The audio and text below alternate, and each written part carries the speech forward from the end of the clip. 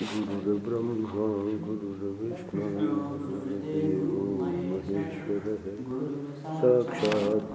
ब्रह्म तस्मै श्रीगुरवे नमः नारायण नारायण नारायण नारायण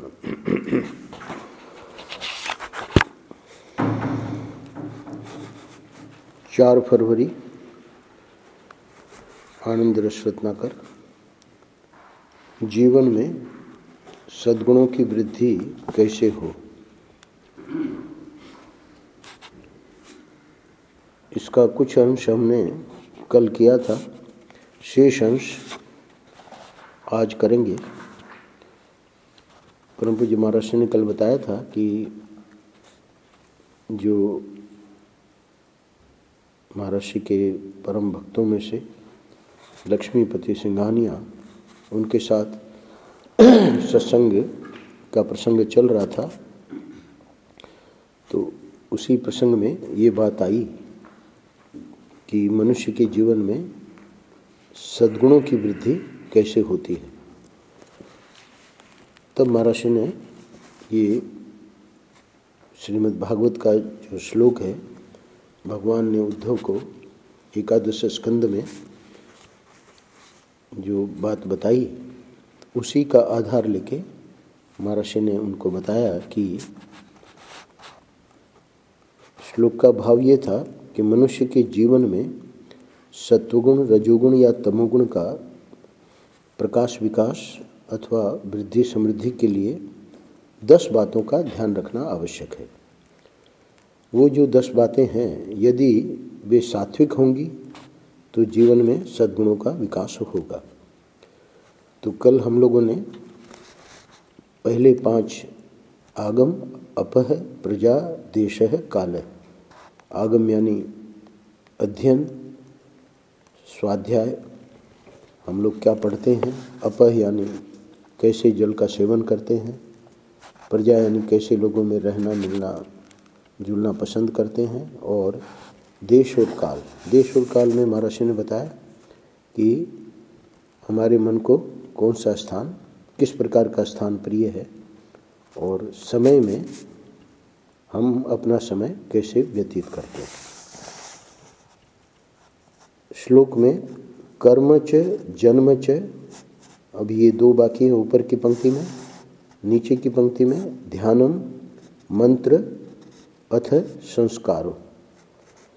तीन नीचे की पंक्ति में, पाँच अभी शेष है जिस पे आज महर्षि चर्चा करेंगे।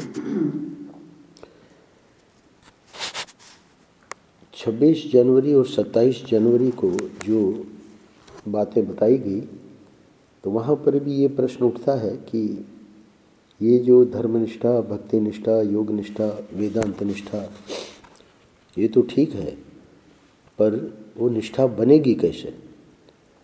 तो जब तक हमारे जीवन में इन दस चीज़ों का सात्विक,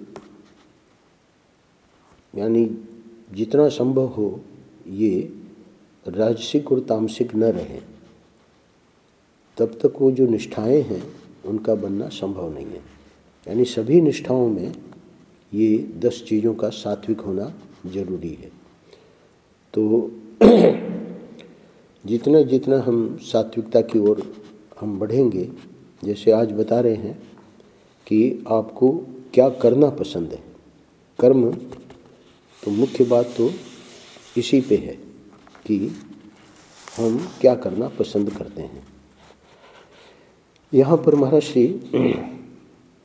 दो बातें विशेष रूप से बताएँगे कर्म के बारे में। क्या आप चोरी, जारी, हिंसा, पक्षपात आदि मोह से प्रेरित कर्मों से बचने का प्रयास करते हैं? एक प्रश्न। और दूसरा प्रश्न है, स्वयं कष्ट सहकर भी दूसरों का हित करने का प्रयत्न करते हैं या नहीं?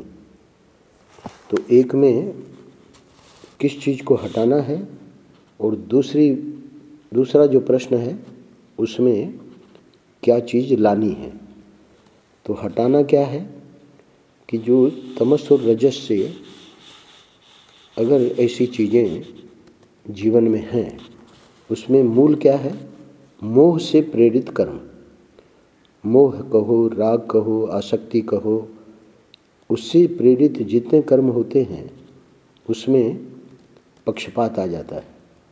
जिसके प्रति हमारा मोह या राग होता है तो आदि से क्या लेना? कि अब जिससे हमारा मोह नहीं है है ना? तो मोह वाले, राग वाले, जो भी विषय है राग का, उसके प्रति जब पक्षपात करेंगे तो जो दूसरा है, भले वो न्यायोचित, उसके प्रति हमारा समत्व होना चाहिए, पर उसके प्रति क्रूरता क्रूरता यानी अन्याय।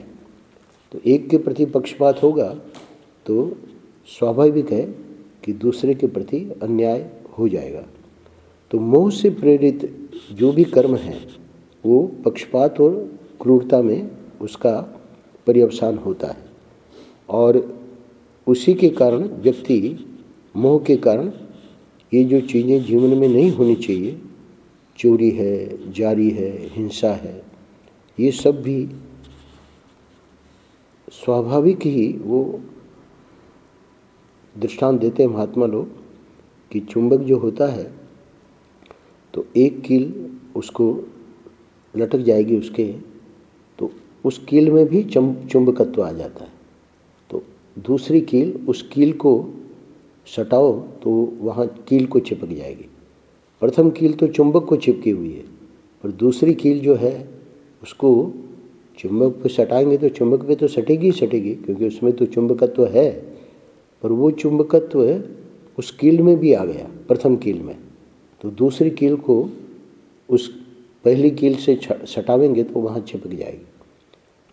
तीसरी कील लो तो तीसरी कील दूसरी कील पे चिपक जाएगी। तो चुंबकत्व जो है, वो जिस जिस कील में उसको सटाते जाएँगे, उसके अंदर संचार होता जाता है। तो ये जो मोह से प्रेरित क्रियाएँ हैं, उसमें ये विशेषता है कि जितने गलत चीज़ें हैं, चोरी, जारी, हिंसा, उसके पीछे, एक के पीछे एक चिपक दी जाती हैं। तो इसलिए परम पूज्य महाराज श्री, आपको क्या करना पसंद है? ये जो छठा पॉइंट है, कर्म तो इसमें सात्विकता कैसे आवेगी? कि यहाँ हमको ध्यान देना पड़ेगा कि अगर हमारे कर्म मोह से प्रेरित हो रहे हैं, उनसे बचना पड़ेगा। अगर हम बचने का प्रयास नहीं कर रहे हैं तो ये जो जीवन में सद्गुणों की वृद्धि, जो हमारा मूल प्रसंग है वो संभव नहीं है। वो दुर्गुण, वो जो दुर्भाव, वो जो दुर्विचार, वो सब बने रहेंगे। कितना ही भजन करो, कितना ही साधन करो, यहाँ बहुत ध्यान देना है कर्म के बारे में। दूसरा पॉइंट है, चलो इनसे तो बचने का, व्यक्ति को जब पता लगे, लग गया तो वो प्रयास करेगा। पर प्रश्न ये है कि क्या इनसे बचना पर्याप्त है? इसी से हमारा काम बन जाएगा? बोले, नहीं।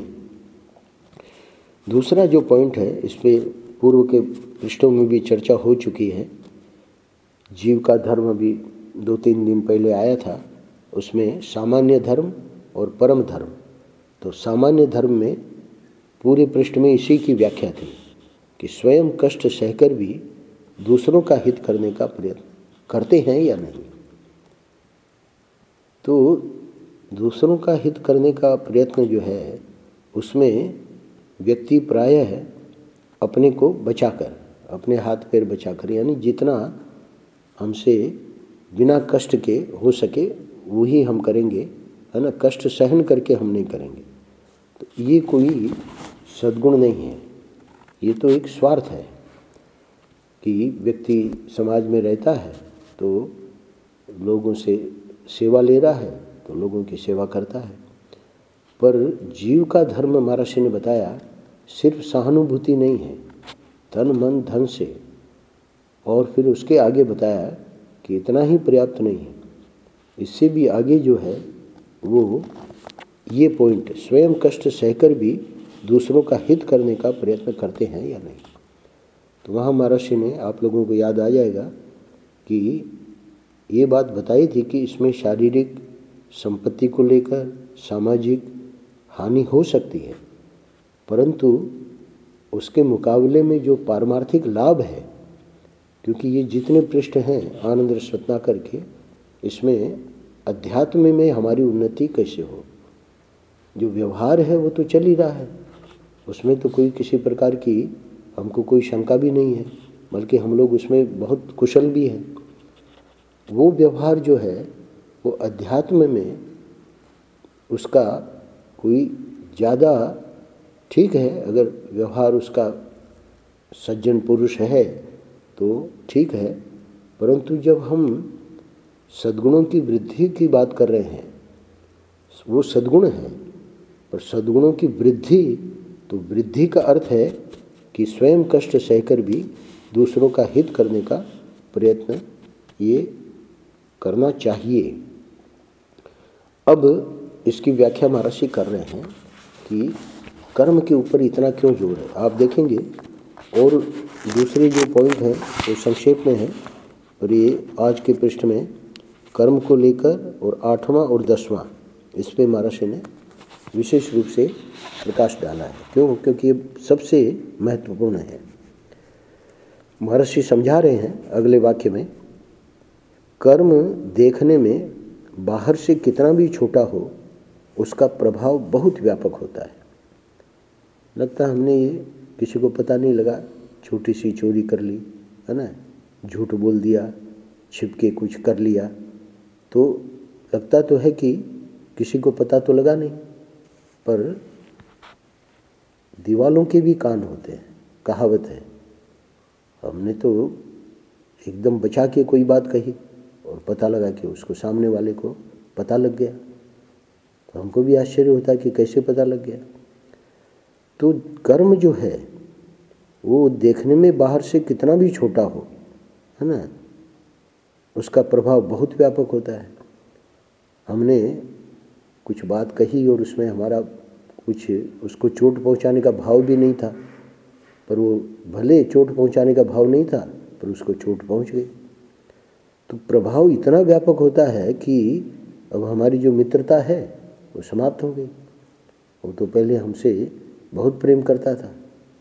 और वो जो हमने प्रमाद में ऐसे ही कोई वाक्य बोल दिया, उससे समाप्त हो गई मित्रता। तो प्रभाव हम देखेंगे कि इतना बढ़िया व्यक्ति हमने खो दिया, उसमें कारण क्या बना? कर्म क्योंकि हमने अपनी वाणी पे आगे बताएँगे। शरीर, वाणी और मन, इन तो तीनों की क्रियाओं पे, इन तीनों के कर्मों पे जब तक व्यक्ति ध्यान नहीं देगा, तब तक वो व्यवहार में, यानी अध्यात्म व्यवहार में, वो आगे नहीं बढ़ पाएगा।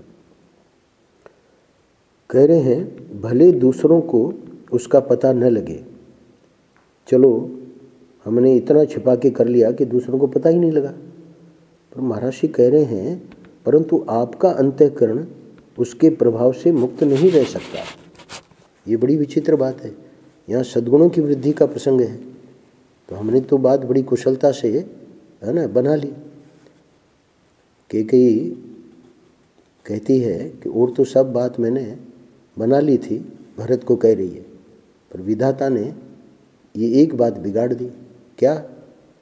कि तुम्हारे पिताजी की मृत्यु हो गई।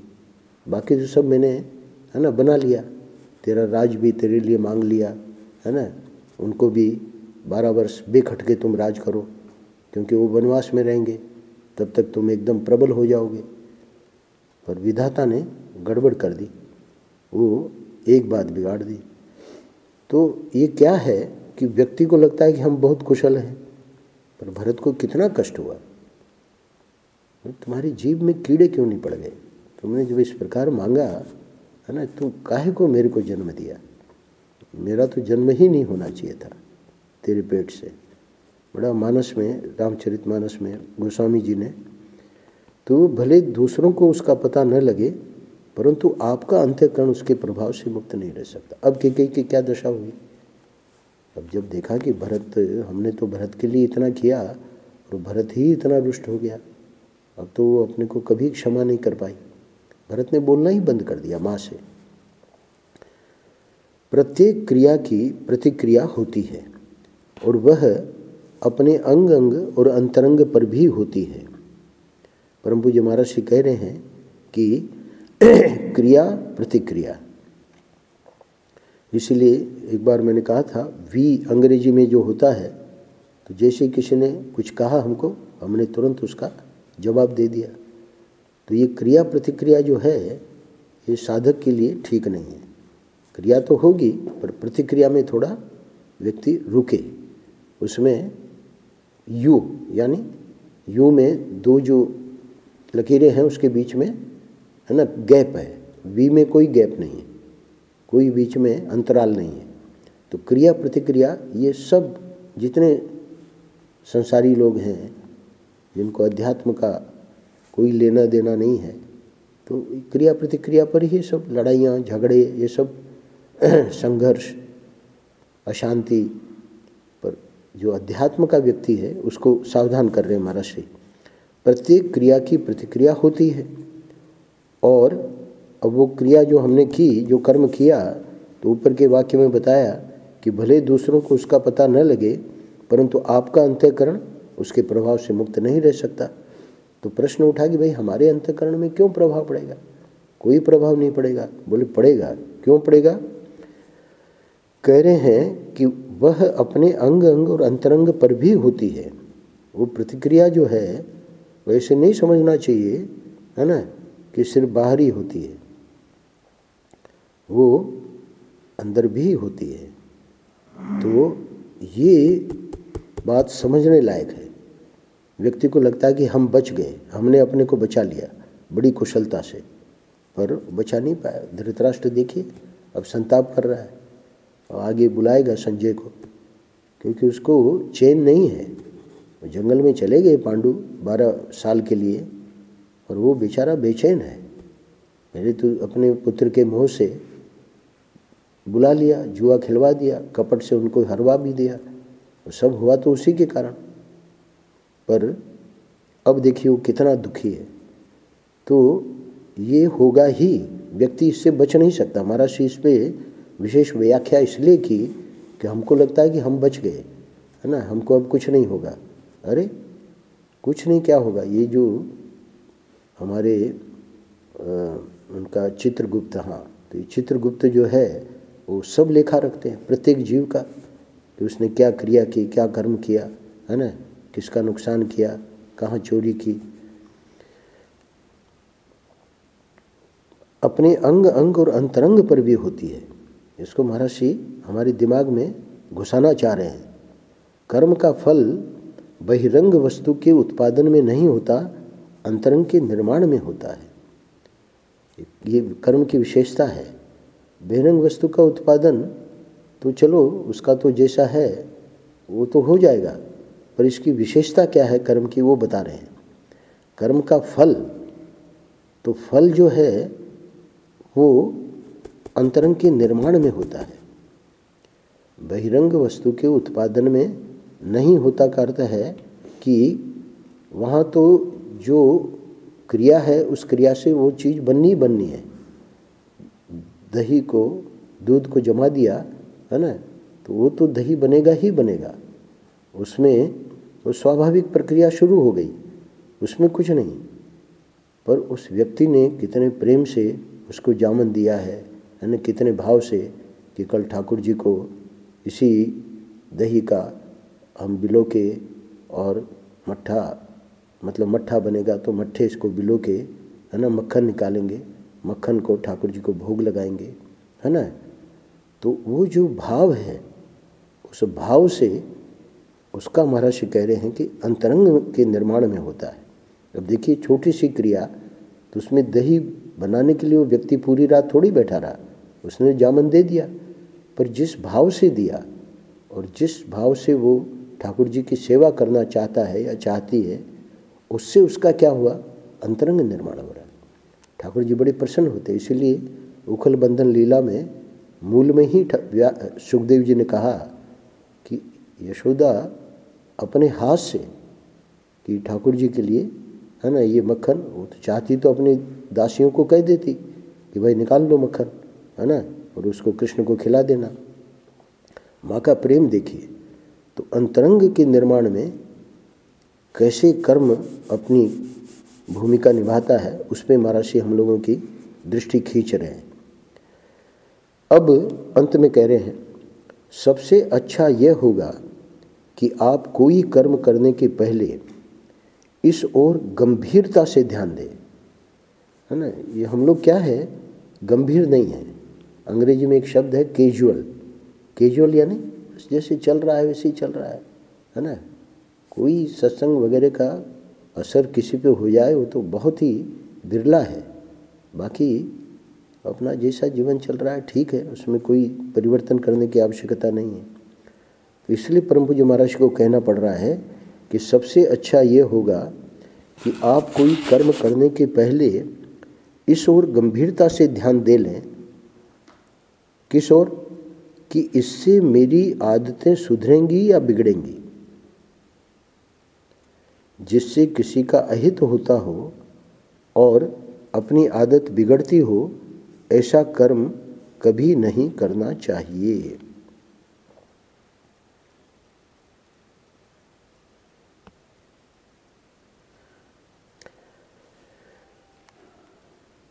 जिससे किसी का अहित होता हो और अपनी आदत बिगड़ती हो। तो शुरू में जो दो पॉइंट लिए थे, दोनों का उपसंहार कर दिया, है ना?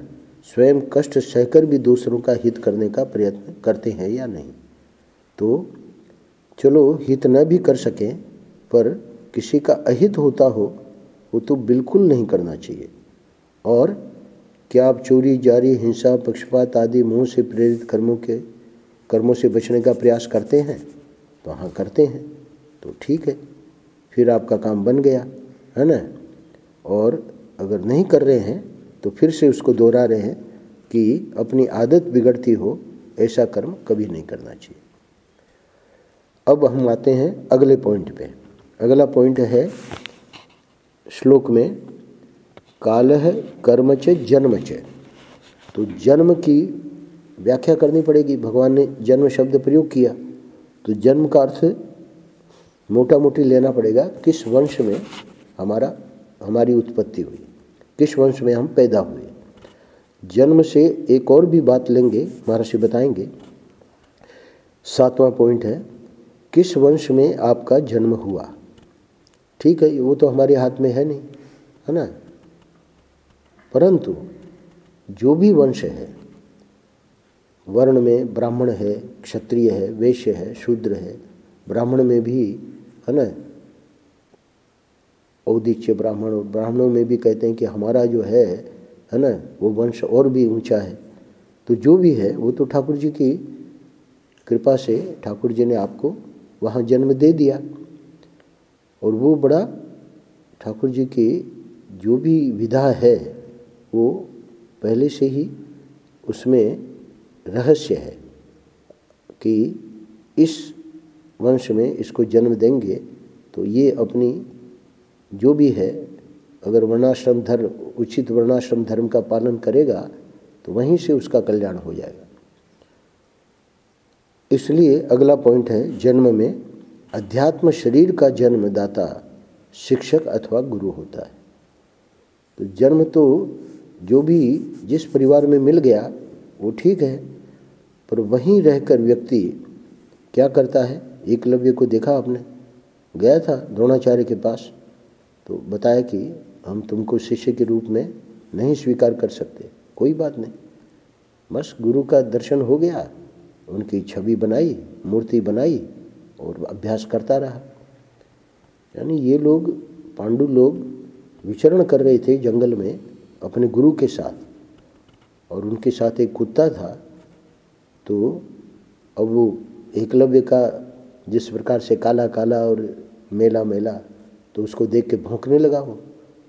एकलव्य अपना कर रहा था, जो भी है बाणों का अभ्यास कर रहा था, धनुर्विद्या का।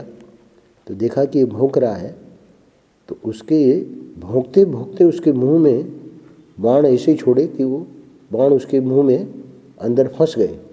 आठ दस बाण, अब वो बेचारा गया वापस, वो पांडवों के साथ डोल रहा था। तो अर्जुन ने देखा कि ये तो आश्चर्य है है ना? वो भोंक रहा था, इतना तो पता था, पर इसका बाणों से मुँह बंद कर दिया। ये विद्या तो हमको भी नहीं पता। तो पता लगाया कि भाई कौन है, कहाँ है। देखा कि वो तो अपना एकलव्य उधर धनुर्विद्या का अभ्यास कर रहे थे। तो अर्जुन ने कहा, द्रोणाचार्य को कि आप कहते हैं कि तेरे से बढ़कर अब इस पूरे संसार में कोई तेरे से बड़ा धनुर्विद्या का ज्ञाता नहीं है। तो ये देखिए, हमारे सामने ही एक तो ऐसा निकल आया। तो द्रोणाचार्य बेचारे चुप हो गए। पता तो लगावे कि इसका गुरु कौन है। तो पूछा, गुरु कौन है तुम्हारे? कि आप ही गुरु हैं। वहाँ मूर्ति दिखाई। उनको ध्यान आ गया कि हमने मना कर दिया था। तो उस एकलव्य ने अपने गुरु की मूर्ति बनाकर और वो विद्या प्राप्त कर ली। तो अब चूँकि द्रोणाचार्य ने कह दिया था अर्जुन को कि तुम ही सबसे बड़े धनुर्वेद में ज्ञाता हो इस विश्व में तो अब करे तो क्या करे? गुरु दक्षिणा मांगी, अंगूठा लिया। कथा आप सब लोगों को पता है, पर वहाँ पर वर्णन आया है मूल महाभारत में कि जो अंगूठा उसने दे दिया बड़े प्रेम से, कोई ऐसे नहीं कि भाई ये हमारा अंगूठा ले लेंगे तो हम क्या करेंगे? बड़े प्रेम से दिया। द्रोणाचार्य ने तर्जनी उंगली से अब बाण कैसे चलाया जा सकता है, वो उसको सिखाया। फिर वहाँ से गए। अब वो स्वाभाविक है कि तर्जनी उंगली से भले बाण चलावेगा, पर अंगूठा तो अंगूठा ही है है ना? अब अर्जुन के आगे तो नहीं आ सकता। तो ऐसी ऐसी यानी जन्मदाता अध्यात्म शरीर का, यहाँ तो ये धनुर्विद्या है, पर अध्यात्म विद्या में क्या क्या कुशलता है? उपनिषदों में बहुत सारे प्रसंग आए हैं, जहाँ बस गुरु सेवा करके और व्यक्ति को ब्रह्म ज्ञान हो गया। तो अध्यात्म शरीर का जन्मदाता शिक्षक अथवा गुरु होता है। उत्तम वंश परंपरा, दोषापनयन एवं गुणाधान रूप संस्कार और सदाचार पालन, ये तीनों ही हमारे जीवन को संवारते हैं। तो सातवें पॉइंट में तो सिर्फ़ वंश परंपरा है, पर दो चीज़ें और भी महर्षि ने जोड़ के और बताया कि वंश परंपरा तो है ही है मूल में, पर अब वो वंश में जो पैदा हुआ है, उसके बाद ये जो दोषापनयन अपने दोषों को हटाने के जो संस्कार हैं यज्ञोपवी संस्कार में उसके पहले सब शूद्र हैं और ये द्विजाति है, दूसरा जन्म है। तो दूसरे जन्म में उसके ऊपर यज्ञोपवीत के संस्कार के बाद नियम लागू हो जाते हैं। ये खाना है, ये नहीं खाना है, ये करना है, ये नहीं करना है। तो वो दोष अपने आप हटेंगे और गुणों का आधान होगा। तो ये जो संस्कार है और सदाचार पालन। तीसरी बात, जो जीवन में सदाचार को नहीं छोड़ना है। सत्य का आचार, है ना? सत्संग, ये जो है तीन पॉइंट ये तीनों ही हमारे जीवन को संवारते हैं। जीवन में सदाचार की स्थिति ही पक्का जीवन है। तो वंश परंपरा उसमें भी हेतु बन जाती है। इसीलिए दूसरा पॉइंट महाराष्ट्र ने जन्म का ये दे दिया कि अध्यात्म शरीर का जन्मदाता शिक्षक अथवा गुरु होता है। इसलिए सिर्फ़ वंश को लेकर व्यक्ति ये न सोचे कि भाई हमारा जन्म शूद्र है या हम वैश्य हैं या हम क्षत्रिय हैं, हम ब्राह्मण नहीं हैं या हम सन्यासी नहीं हैं, इसकी कोई ज़रूरत नहीं है।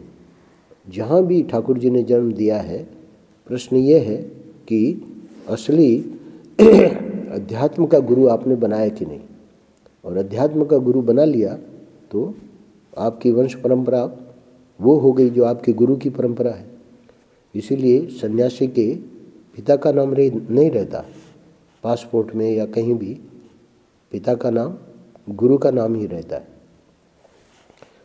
आपके चिंतन की दिशा क्या है? आठवां पॉइंट क्योंकि ध्यानम तो ध्यानम से क्या लेना? अब जब तक महापुरुष बताएँगे नहीं कि इस श्लोक में ठाकुर जी क्या कहना चाह रहे हैं तो ध्यान से चिंतन लेना पड़ेगा। तो अब हमारे चिंतन की दिशा क्या है, इसके ऊपर विचार करना पड़ेगा। जागते समय बैठे हुए एकांत में सोने के पूर्व आप मन ही मन क्या सोचते रहते हैं? अब वो तो सब अपना अपना इस प्रश्न का जवाब दे ले, जिसकी जो क्रिया है। तो महर्षि को जो बात बतानी है, वो आगे बता रहे हैं। आत्मचिंतन लोक कल्याण या शरीर भोग रोग राग योग सावधान। क्या अर्थ हुआ? यानी चिंतन में एक तो ये हो सकता है कि भाई व्यक्ति को अच्छे संस्कार है, इसलिए आत्मचिंतन करता रहता है है ना? लोक कल्याण का सामाजिक समाज सेवी है है ना? पर दूसरा व्यक्ति क्या करता है? न आत्मचिंतन है, न लोक कल्याण है, अपने शरीर का चिंतन, है ना? अब क्या होगा? पता नहीं कब मरेंगे। तो अरे मरना तो है ही है। वो तो आयु तो भगवान जब जन्म देते हैं, उसके साथ ही वो भी पक्का कर देते हैं कि कब मरोगे। तो शरीर का ही चिंतन चल रहा है दिन रात। भोग का चिंतन, है ना? क्या बनेगा आज रसोई में? रोग, कोई रोग आ गया और दिन रात उसी का चिंतन चल रहा है है ना? राग जिससे मोह है, जिससे आसक्ति है, उसी का चिंतन चल रहा है। और योग। तो योग पहले ले लेना। आत्मचिंतन, लोक कल्याण, योग, ठाकुर जी से योग, भक्ति योग, है ना? ज्ञान योग, ध्यान योग, ये सब। तो इसमें कौन सा चिंतन चल रहा है? सावधान कर रहे हैं। क्योंकि इधर अगर दृष्टि नहीं गई है तो दृष्टि जानी चाहिए। क्यों सावधान कर रहे हैं? यदि चिंतन की दिशा अनुचित एवं अशुद्ध दिशा में चली गई तो आप कहीं के नहीं रहेंगे, न घर के न घाट के। किसी कारण से गलत संग मिल गया, है ना? और यही शरीर और भोग और रोग और, है ना, राग, इसी में चिंतन चलता रहा तो गए काम से। परम पूज्य महर्षि अगले वाक्य में बता रहे हैं मनुष्य का वास्तविक चिंतन ही उसका सच्चा जीवन है। ठोस जगत में आप अपनी वाणी एवं शरीर के व्यवहार को अपने पवित्र चिंतन का अनुयायी बनाइए।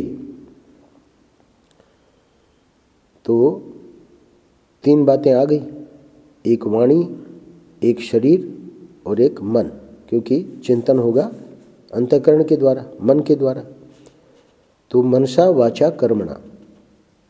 ठोस जगत में आप अपनी वाणी एवं शरीर के व्यवहार को अपने पवित्र चिंतन का अनुयायी बनाइए।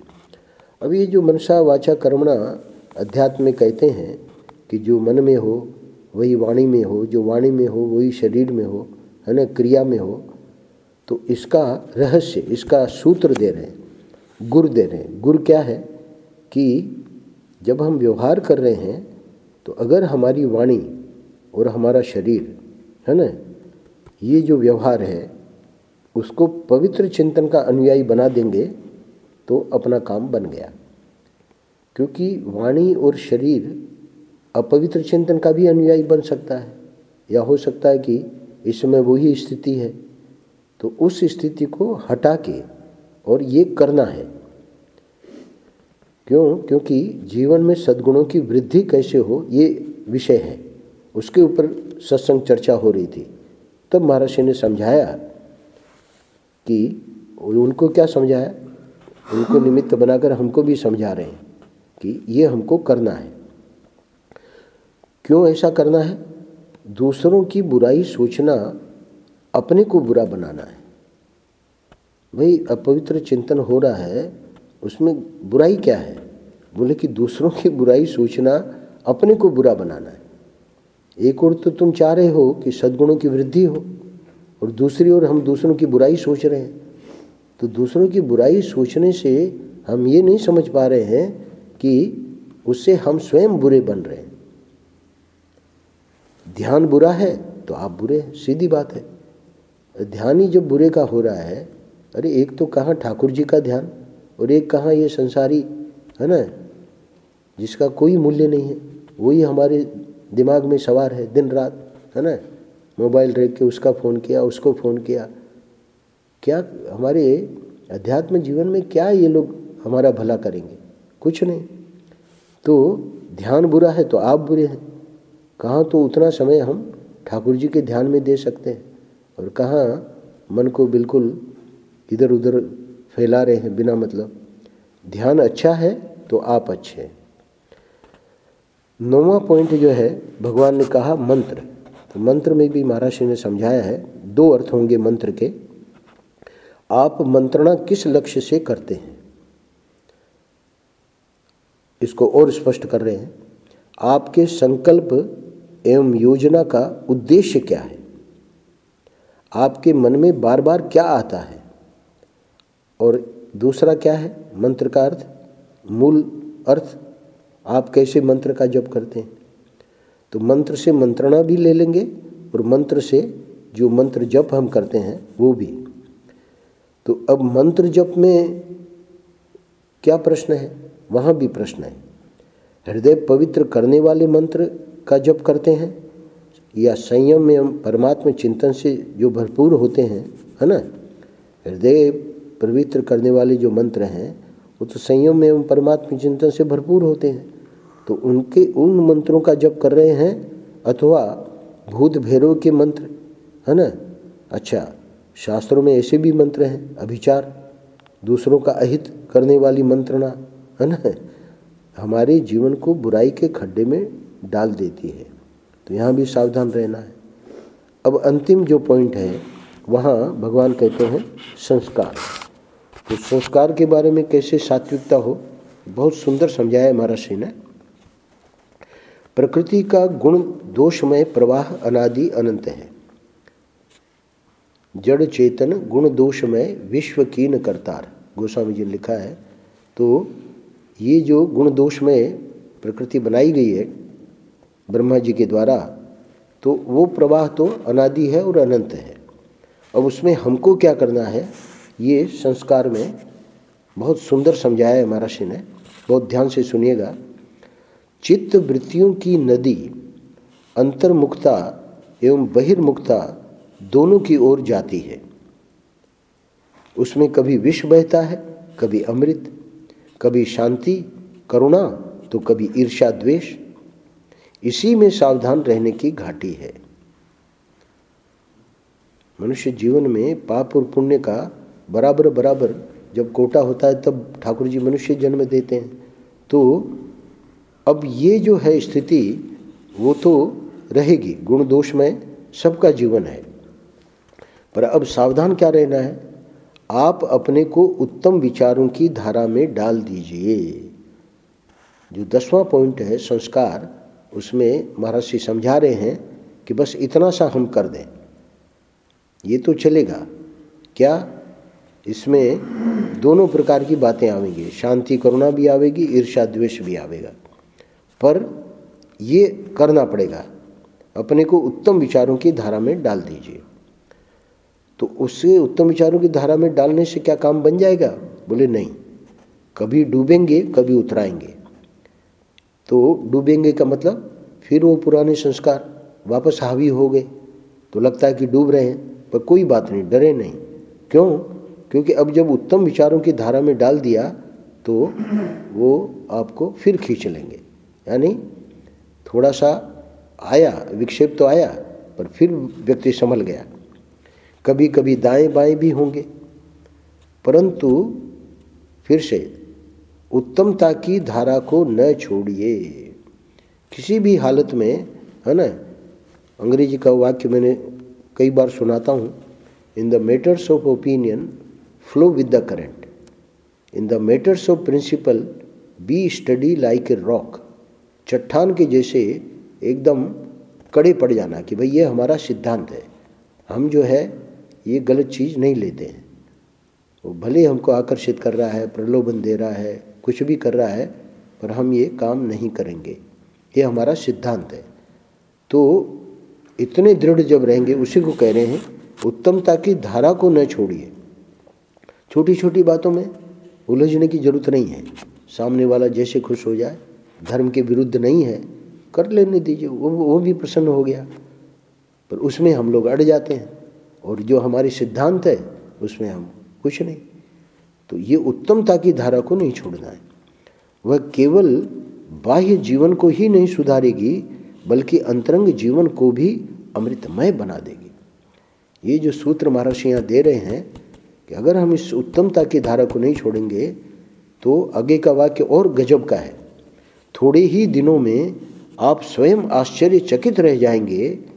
थोड़े ही दिनों में, ज़्यादा समय नहीं लगेगा कि आपके जीवन को इतना मधु मधुर इतना सरस, इतना सौरभमय, इतना सुकुमार और इतना संगीतमय क्यों बनाया गया? यानी इतना ट्रांसफॉर्मेशन हो जाता है व्यक्ति में कि वो क्या था और क्या हो गया। इसको अंग्रेज़ी में कहते हैं 180 डिग्री अबाउट टर्न यानी व्यक्ति जा रहा था पूर्व की ओर और, और उसकी अब दशा हो गई पश्चिम की ओर। यानी पहले तो एकदम संसारी था और अब जो है बस ठाकुर जी ठाकुर जी ठाकुर जी दिन रात तो ये क्या हो गया? उसी को कह रहे महाराज उसने क्या किया कि उत्तमता की धारा को उसने नहीं छोड़ा। तो इसीलिए सूत्र यानी महात्मा लोग अपने जीवन का रहस्य बता रहे हैं कि कैसे अपने में परिवर्तन लाना है। बोले थोड़े ही दिनों में ज़्यादा नहीं। आप अमृत के पुत्र हैं और अमृत होने, रहने में ही आपके जीवन की सफलता है। भाई, ये इतना सब करने की ज़रूरत क्या है? तो महर्षि कह रहे हैं कि आप अमृत के पुत्र हैं। ये हमारी रियलिटी है। ये कोई हम, ऐसा नहीं है कि कोई चीज़ हमने बाहर से ला के थोप ली। ओरिजिनली सब, जैसे चंदन की गंध ओरिजिन है। उस गंध पे काई आ गई, किसी कारण से वो पड़ा रहा, है ना? पानी में, अब उसमें दुर्गंध आ रही है। तो वो जो चंदन की सुगंध है, वो कहीं गई नहीं है, वो उसी में है। करना क्या है? वो काई और जो दुर्गंधी आ रही है जिसमें से उसको रगड़ रगड़ के साफ़ कर दो। फिर से वो चंदन की दुर्गंध निकली आएगी, चंद, चंदन की सुगंध निकली आएगी। तो आप अमृत के पुत्र हैं और अमृत होने रहने में ही आपके जीवन की सफलता है। एक वाक्य जो कल का रह गया था, उसको कल ले लेंगे। आपका एक क्षण आपके जीवन को स्वर्ग एवं नरक बनाने में समर्थ है। तो इसकी आज चर्चा करनी थी, पर समय हो गया है। तो कल इसको ले लेंगे। नारायण नारायण नारायण नारायण।